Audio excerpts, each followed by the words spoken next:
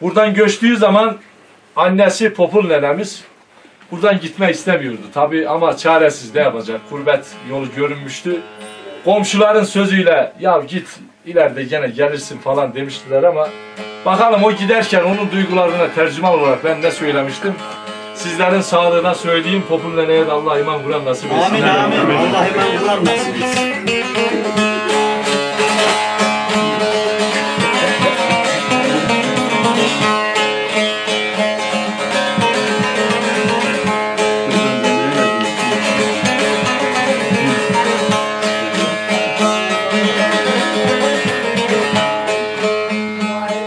Ah gönül istemeden göçtüm şehire.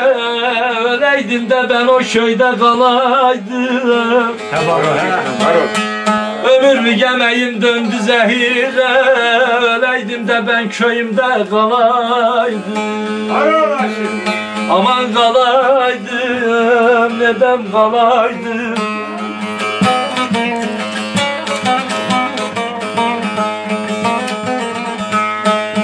gitmem dedim herkes beni kınadı. Felek beni gurbet ile sınadı. Şimdi bacamıza baykuş tünedi. Öleydim de ben o köyde kalaydım. Aman kalaydım neden kalaydım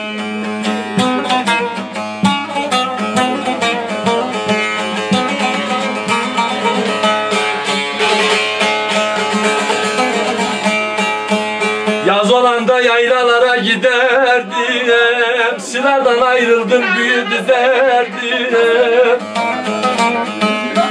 Ya dellere kaldı vatanım yurdum.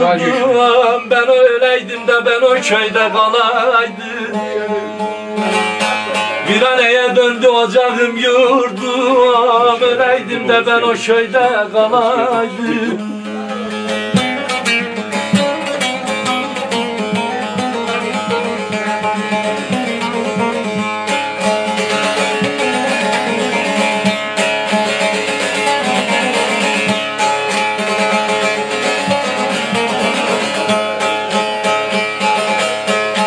Göçmenim ben de göç eyledim sılada ya.